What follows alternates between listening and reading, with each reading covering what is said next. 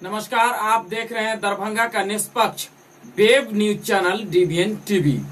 आइए आज की एक चर्चित खबर पर नज़र डालते हैं। वीआईपी पार्टी के राष्ट्रीय अध्यक्ष मुकेश सहनी ने पुलिस पर भ्रष्टाचार का आरोप लगाया है। तो वहीं दरभंगा एसएसपी ने कहा है कि जाँच में सही पाए जाने पर दोषी अधिकारी के ऊपर कार्रवाई की जाएगी। दरअसल तेईस मार्च को बिरौल थाना की पुलिस ने कुशेश्वर स्थान जा रहे टेंपू को जब्त किया था। टेंपू छोड़ने के एवज में पुलिस पदाधिकारी पंद्रह हज़ार रूपए की डिमांड करने लगी, जिसके बाद पुलिस और टेंपू मालिक के बीच बातचीत में दस हज़ार रूपया देने पर टेंपू छोड़ने की बात हुई, लेकिन लॉकडाउन होने के कारण जब पैसे की व्यवस्था नहीं हुई तो टेंपू मालिक ने इस बात की जानकारी वीआईपी पार्टी के राष्ट्रीय अध्यक्ष मुकेश सहनी को दिया, जिसके बाद खुद ही मुकेश सहनी बिरौल थाना पहुँचे और थाना अध्यक्ष के टेबल पर दस हज़ार रूपया रखकर उन्हें चालक का जब्त टेंपू छोड़ने को कहा गया। हालाँकि थाना अध्यक्ष ने रुपया लेने से इनकार करते हुए रुपये की मांग को झूठी बताई। दरअसल सहरसा जिला के महरवार निवासी सुरेश मुखिया टेंपू चलाकर सपरिवार कुशेश्वर स्थान जा रहे थे। इसी बीच बिरौल पुलिस ने गश्ती के दौरान टेंपू पकड़ लिया। टेंपू पकड़ने के बाद सुरेश से पुलिस पंद्रह हज़ार रूपए की मांग करने लगी, जिसे देने में टेंपू चालक सह मालिक देने में असमर्थ जताई। जिसके बाद पिछले डेढ़ माह से पुलिस सुरेश को थाना का चक्कर लगवाती रही। इसी बीच सात मई को पुलिस ने दस हज़ार से कम से टेंपू नहीं छोड़ने की बात कहकर सुरेश को थाने से भगा दिया। तब सुरेश ने गाँव में रह रहे वीआईपी के राष्ट्रीय अध्यक्ष के पास गुहार लगाई। वीआईपी के राष्ट्रीय अध्यक्ष मुकेश सहनी ने बिरौल पुलिस पर भ्रष्टाचार का आरोप लगाते हुए कहा है कि वाहन जब्ती का भय दिखाकर मोटी रकम की अवैध वसूली करने की शिकायत उन्होंने। डीएम एसएसपी डीजीपी सीएम को पत्र लिखकर कार्रवाई की मांग की है। वहीं मुकेश सहनी ने आरोप लगाया है, बिना रुपया पुलिस कोई काम नहीं करती।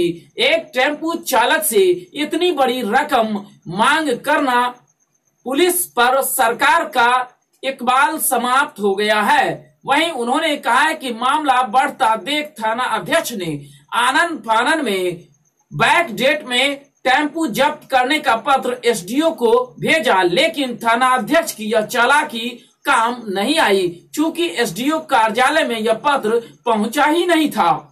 उधर दरभंगा एसएसपी बाबूराम ने कहा है कि सोशल मीडिया के माध्यम से यह पता चला है कि मुकेश सहनी ने थाना पर आरोप लगाया है कि तेईस मार्च को थाना के द्वारा टेंपू जब्त किया गया था और इतना समय बीत जाने के बाद भी नहीं कोई प्रतिवेदन एसडीओ कार्यालय को भेजा गया, न ही टेंपू को रिलीज़ किया गया। थाना से इस संबंध में बात हुई। एसएचओ ने बताया है कि उन्होंने जिस दिन गाड़ी जब्त की थी, उसी दिन एसडीओ कार्यालय को प्रतिवेदन भेज दिया था। इस संबंध में विस्तृत जानकारी के लिए हमने सिटी एसपी को जाँच का निर्देश दिया है। उन्होंने उम्मीद जताई है कि आज शाम देर तक रिपोर्ट मिल जाएगी और अगर उन्हें पदाधिकारी स्तर से गड़बड़ी पाई गई तो उनके विरुद्ध कार्रवाई की जाएगी।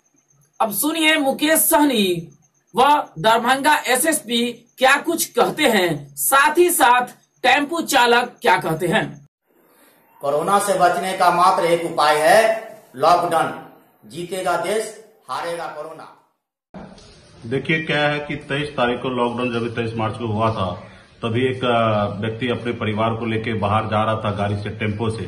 तो उनको थाना के सामने में जाने से उसको रोका गया और उसको थाना अपने कस्टडी में गाड़ी को ले लिया गया। और डेढ़ महीना तक वो पीड़ित को थाना में घुमाते रहा और उससे पहले पंद्रह हज़ार रुपये का डिमांड किया, फिर बारह हज़ार हुआ, फिर दस हज़ार रूपया हुआ। कि दस हज़ार रूपया दीजिएगा, तब गाड़ी छोड़ेंगे।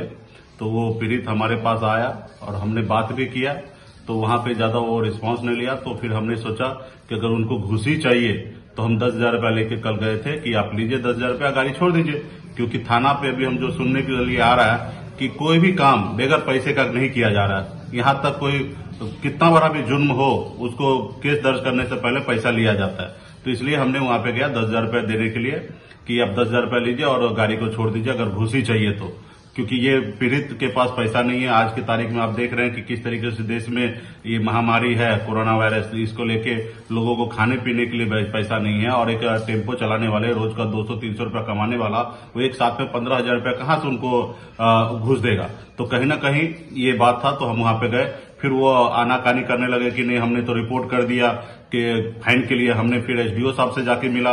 एसडीओ साहब से भी हमने पूछा तो एसडीओ साहब ने बोला कि इतने दिनों में हमारे पास कोई भी फाइन के लिए नहीं आया, और उन्होंने बताया कि फाइन के लिए आता तो हम कर देते। और फाइन अगर होता भी तो हज़ार पंद्रह सौ रुपये। इस मामला को लेकर हमने डीजीपी साहब को हमने लेटर लिख दिया एसपी साहब को हमने लेटर लिखा है। डीएसपी साहब ने कल पर्सनली मिला, मैं उनको सारा चीज़ हमने समझाया। और बिहार सरकार माननीय मुख्यमंत्री जी को भी हमने भेजा है लेटर।